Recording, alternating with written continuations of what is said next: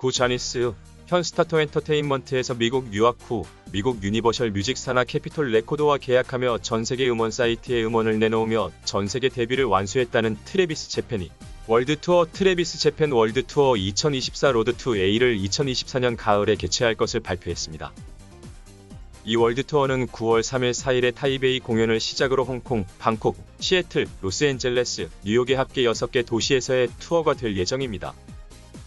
투어 타이틀은 로드 투 A로 트레비스 제펜의 정규 음반 제목이기도 한데 Road to A에서 A의 의미는 진실성을 의미하는 영단어의 첫머리이기도 하지만 아메리카를 의미하는 중의적인 의미도 있는 것으로 알려졌습니다.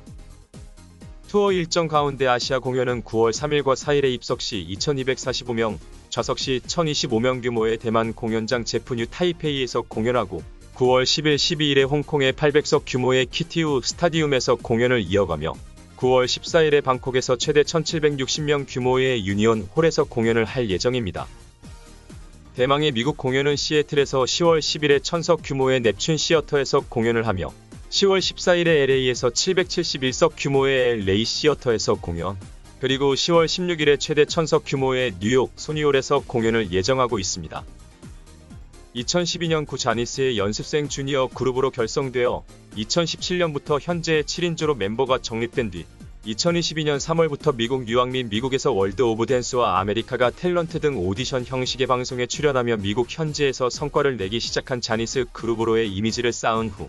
미국 유니버셜 뮤직 산하 캐피톨 레코드와 계약 후 전 세계 음원 사이트로 디지털 싱글만을 공개하며 소위 세계 데뷔를 했다는 슬로건과 함께 해외라고 쓰고 미국이라 읽는 국가에서의 활약을 하는 혹은 하려고 하는 그룹으로서의 이미지를 구축해온 Travis Japan.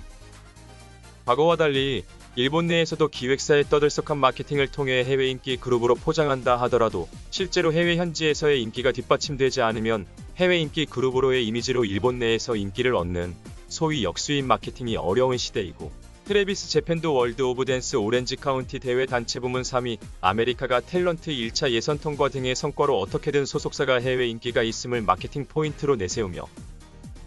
의도적으로 데뷔 초기에는 디지털 싱글만 내며 전 세계 음원 사이트에 디지털 싱글이 공개된다는 이유로 세계 데뷔라는 타이틀까지 붙여 데뷔시켰지만 정작 데뷔 이후 America's Got Talent spin-off 방송 출연 외엔 구체적인 미국 활동이 없어 해외 인기 그룹으로의 마케팅에 어려움을 겪기 시작했던 Travis Japan. 규모는 크지 않지만 미국 현지 팬들 중심의 관객이 공연을 보러 온다든지 하는 실질적인 성과가 느껴질 만한 수치가 나오기만 한다면 해외에서 인기가 있는 그룹으로서의 마케팅이 이어지며 해외 활동에 탄력을 받을 것으로 보이는 가운데 Travis Japan의 월드 투어는 어떤 성과와 향후 그룹 마케팅 방향에 어떤 영향을 주게 될지 귀추가 주목됩니다.